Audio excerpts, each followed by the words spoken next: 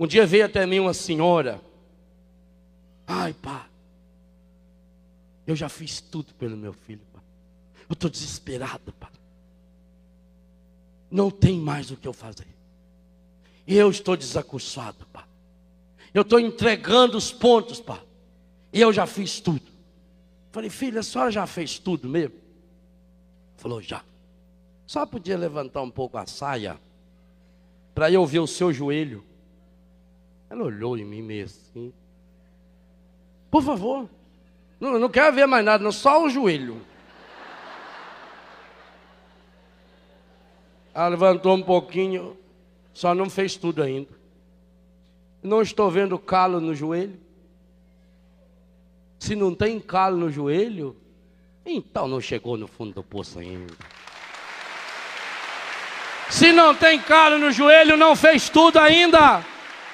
Padre, eu já fiz tudo para salvar meu casamento. Deixa eu ver o joelho. Padre, eu já fiz tudo, mas eu não estou conseguindo manter firme o meu sacerdócio, padre. Está sendo difícil os meus votos. Deixa eu ver seu joelho, padre. Deixa eu ver seu joelho, irmã. Deixa eu ver seu joelho, pai. Você já fez tudo para salvar seu casamento, salvar seu filho, para salvar sua empresa. Deixa eu ver seu joelho. O Espírito Santo vem em auxílio à nossa fraqueza. Quando você está fraco, você não para em pé.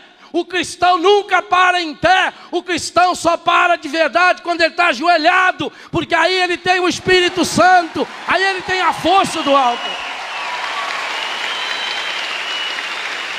Mas é triste, é triste que tem católico que não se ajoelha mais nem na hora da consagração. E isso dói meu coração. Ah, eu tenho dor no joelho. Senhor, aconteça o que acontecer, eu vou ter calo no joelho. Porque essa é a saída, meu irmão. Você está doente? Reza. Você está nas drogas? Reza. Você está no pecado? Reza mais. Você já conseguiu vencer o pecado? Reza. Você já conseguiu dar um passo grande na sua vocação? Reza. Você já conseguiu muitas vitórias na sua vida? Reza. Sua família vai bem? Reza. Sua família vai mal? Reza. Sua empresa vai bem? Reza. Reza. Reza. Reza. Não tem outro jeito. É o único jeito de estar na mão de Deus. Jesus disse: Vocês que são maus sabem dar coisas boas para os seus filhos, quanto mais o Pai não vai dar o Espírito Santo àqueles que o pedirem.